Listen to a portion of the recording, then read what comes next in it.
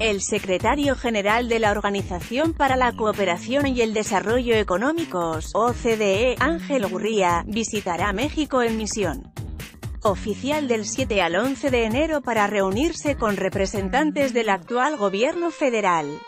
La doctora Irma Heréndira Sandoval, Ballesteros, secretaria de la Función Pública, participará el próximo lunes a las 11 de la mañana en la presentación del informe de seguimiento sobre la reforma de Compranet en México y el informe de seguimiento del estudio de la OCDE sobre integridad.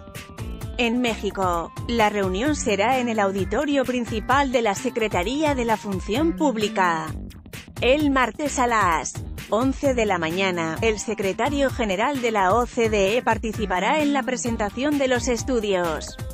Combate a la colusión en las compras públicas del IMSS, impacto de las recomendaciones de la OCDE 2018 y simplificación administrativa en el IMSS, medición de impacto y recomendaciones para impulsar la estrategia, con la participación de Germán Martínez, director del IMSS.